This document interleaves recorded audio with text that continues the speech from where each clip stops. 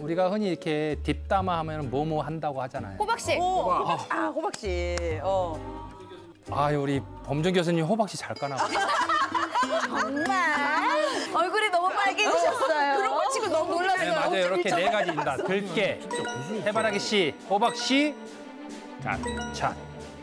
그렇다면 이번 초복엔 대통령 삼계탕으로 몸보신 하시라고 비법을 공개하신답니다. 아 이건 진짜 알토란에서만 배울 수 있는. 그러니까. 지금 바로 만들어 보겠습니다. 이게 삼겹살의 잡내는 여 끝에 부분을 잘라 주셔야 돼요. 여기에 잡내도 있고 모든 게 다 보여 있어요. 이건 잘라 버리시고 그리고 꼬리.